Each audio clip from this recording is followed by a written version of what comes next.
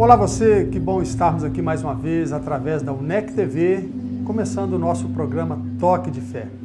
Meu nome é Rominho Costa, um dos pastores da igreja Comunidade Águas Vivas, e nós traremos uma mensagem aqui, uma reflexão, principalmente porque estamos aí na semana do Dia dos Namorados. Então, nós vamos falar sobre o namoro, o casamento, esta bênção que Deus tem para a vida do homem, para a vida da mulher. E o versículo que eu quero meditar nele neste momento está escrito no livro de Eclesiastes, versículo 9, capítulo 4. Diz o seguinte: Melhor é serem dois do que um, porque tem melhor paga no seu trabalho. E o versículo 10 diz: Porque se um cair, o outro levanta, e o seu companheiro ou companheira, mas ali do que estiver só, mas ai do que estiver só pois caindo não se levantará. Olha, o namoro, o casamento é uma bênção de Deus para a nossa vida. Exatamente esse ano, agora, no mês de outubro, eu vou fazer 20 anos de casado e casaria com essa amada esposa que eu tenho de novo, novamente, porque foi a pessoa que Deus me deu. Existe hoje uma ansiedade, na verdade, na vida do jovem, principalmente sobre o relacionamento. Relacionamento é algo que vem de Deus, é uma bênção de Deus. O homem não nasceu para viver como uma ilha, isolado, só. Nós nascemos para vivermos em comunhão uns com os outros. E trazendo esta palavra de comunhão para a vida do relacionamento é algo tão profundo e maravilhoso. E nós temos vários exemplos que o tempo é muito curto para que possamos dar como é uma bênção a vida a dois, o casamento. Olha, claro que existe aí uma ansiedade. Alguém um dia falou comigo: Rominho, eu tô ficando muito velha. Meu Deus, quantos anos você tem?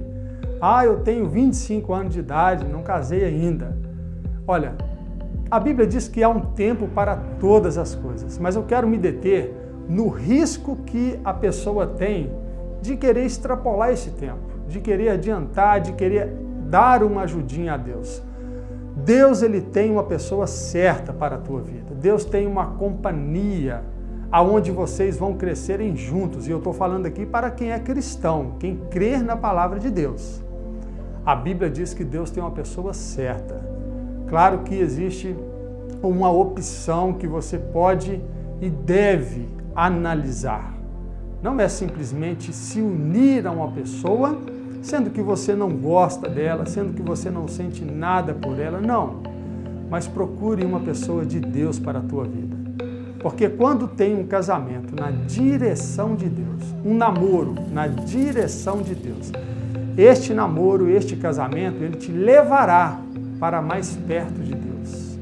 E ao contrário também é verdadeiro. Quantas famílias hoje temos que estão destruídas pessoas que entram em certos relacionamentos que trazem grandes prejuízos, não somente para ela ou para ele, mas também para todos os familiares. Nós temos visto muito acontecer aí, é, escolhas de relacionamentos ruins, sendo hoje é, causado, melhor dizendo, muitos prejuízos. Então, o que, que eu quero trazer nesta reflexão? Olha, você que é cristão, saiba que a vontade de Deus é boa, perfeita e agradável.